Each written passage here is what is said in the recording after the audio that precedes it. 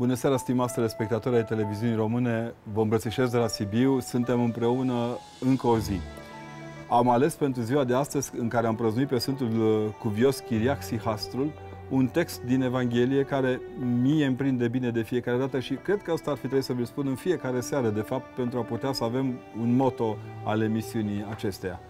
Luați jugul meu asupra voastră și învățați-vă de la mine că sunt blând și smerit cu inima și veți găsi o dihnă sufletelor voastre, din Evanghelia de la Matei.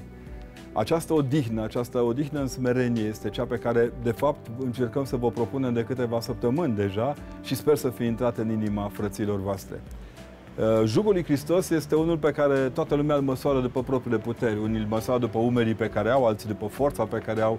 În fond, jugul lui Hristos este un dar al lui Dumnezeu pentru fiecare dintre noi și să știți, de la cel mai mic la cel mai mare, de la copil la cel mai în vârstă, de fiecare dată jugul acesta este pe măsura puterii noastre și a harului prin care Hristos ne cheamă să ne împlinim misiunea.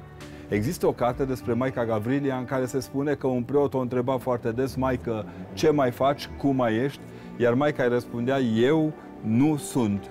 Eu nu sunt, răspundea de fapt. Pentru că ea se topise deja în celălalt, devenise mai mult decât empatică, creștea în celălalt cu fiecare secundă prin ascultare, prin dragoste și prin frățietate. E mesajul pe care aș vrea să-l păstrați la inimă pentru seara aceasta. Când vă mai întreabă cineva cum sunteți, să spuneți eu nu sunt. Încerc să fiu dragostea ta, încerc să fiu profesia mea, încerc să fiu bucuria mea de a dărui celorlalți în fiecare zi câte ceva din jugul prin care Dumnezeu m-a binecuvântat în viață. Să nu vă temeți că jugul pe care îl purtați este mai greu decât l-ați putea purta vreodată. Este darul lui Dumnezeu de a desțeleni într-un fel sau altul neiubirea din jur și de a dărui celorlalți în modul acesta în care Dumnezeu, Dumnezeu ne învață în pedagogia fiecarei zile puținul de care și celălalt are nevoie ca să treacă peste noaptea grea a zilei și să se apropie de miezul binecuvântat al odihnei.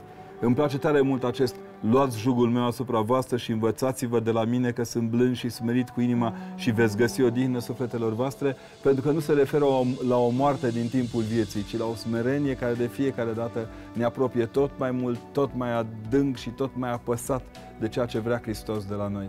Să nu uitați că din când în când Hristos mai dă câte un bip așa și ne întreabă cum suntem, a trebuit să-i spunem eu nu sunt decât tu. Eu nu sunt decât tu în încercarea de a deveni cât mai mult pentru ceilalți, acel tu care îi poate ajuca, ajuta pe fiecare dintre ei să fie.